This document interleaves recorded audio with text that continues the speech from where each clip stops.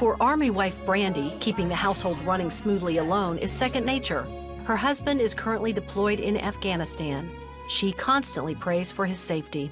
I trust, I say, God, I know you have great plans for my husband and um, you are his protector and you have, you know, angels around him. In March of 2018, it was Brandi and the children who needed God's protection when a tornado touched down in their neighborhood. The rain and the, the storm was just beating down on the house, and you could hear that it was starting to get really, the wind was starting to get really aggressive. Brandi had only seconds to get her children into the interior closet before the house took a direct hit. My ears filled up with pressure, and then just the explosion of everything, like all the glass and everything flying through the house. Um, you could just hear it outside, but it was so furious and fast, it just happened just like that. The roof was ripped off. Inside, glass from blown out windows destroyed most of the furniture. This is where her daughter would have been sleeping. Just the force of, you know, the glass breaking and there's glass and debris and I mean it's just destroyed. Yeah, I just look at this and I just I can't help but just be humble and thankful.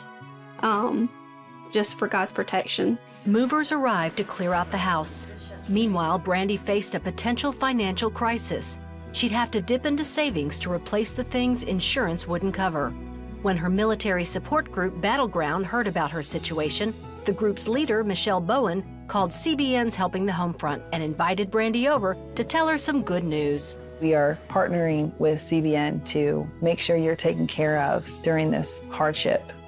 I feel so loved and I feel so just humble. It means the world to me. It really does.